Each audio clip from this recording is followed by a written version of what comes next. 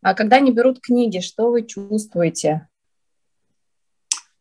Когда, знаете, вот такой момент интересный, когда вы вроде представили все хорошо, все замечательно, и человек говорит, нет, так уже еще раз попробовали ему все-таки попроповедовать, там, два-три раза, и он нет.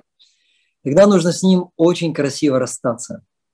Спасибо вам большое, счастья вам, здоровья и удачи.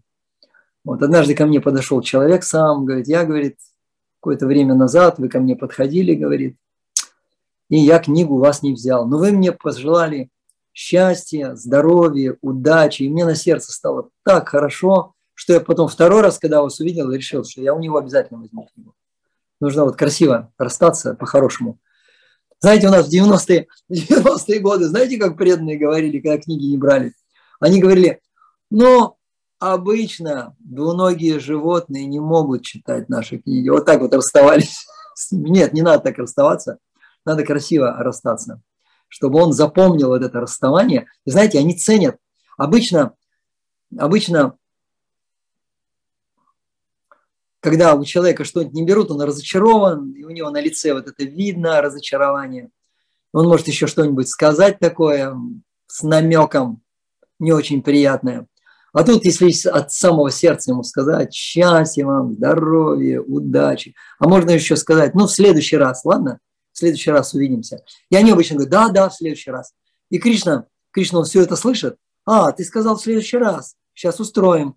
И Кришна устраиваешь, в следующий раз мы встречаемся. Вот. Однажды я распространял в Москве книги. До этого я был на Грушинском фестивале, фестиваль бардовой песни. Там у меня брали книги, это просто в день по 200 махабит брали. Там просто книги, каждый вот просто подходишь к нему, брал книги.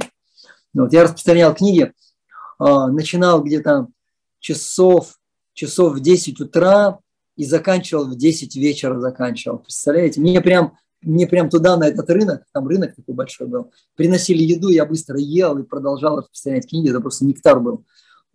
Там же, там же, в этом же месте и книги читал, ну, знаете же, надо же почитать, надо же зарядиться.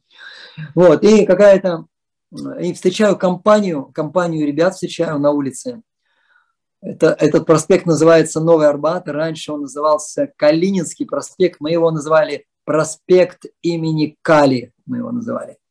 Вот и встречается группа ребят. Говорит, о, говорит, мы вас помним. Мы были на Грушинском фестивале, были в вашем лагере, там пели всю ночь Хари Кришна. Я им говорю, не верю, говорю. Они, как не верите? Я говорю, не верю, что вы были там. Докажите. Никак доказать. Я говорю, спойте Хари Кришна. И они подняли руки, начали, Ари Кришна, Ари Кришна, Кришна, Кришна, Ари, Ари, Ари Рам, Ари Рам, Рам, Рам, Ари, Ари. Я говорю, молодцы, говорю, держите по книге. Каждому дал по книге. И они все, они все взяли книги.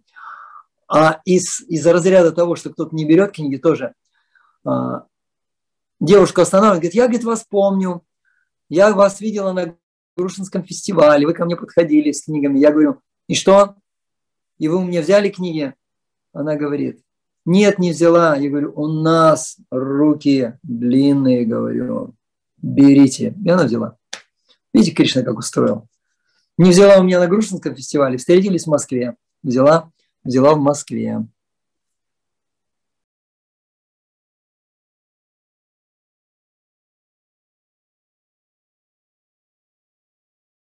Харе Кришна, дорогие преданные. Хари Кришна, примите наши поклоны. Это Нарайни Радха. Это Манджари Махима, и мы вместе занимаемся интернет-санкиртаной на Wildberries. А, мы распространяли книги на улице долгое время и решили автоматизировать этот процесс, составили список магазинов, через которые можно попробовать распространять книги, и первым оказался Wildberries.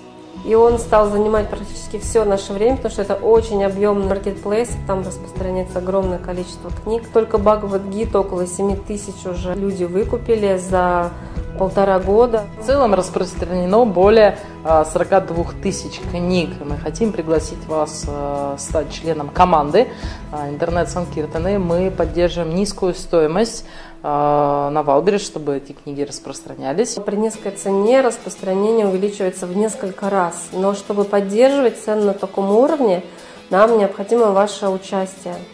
Если вы домохозяйка или вы бизнесмен, у вас нет времени, вы можете просто выкупать книги, и от вашего лица они будут автоматизированно распространяться на Wildberries.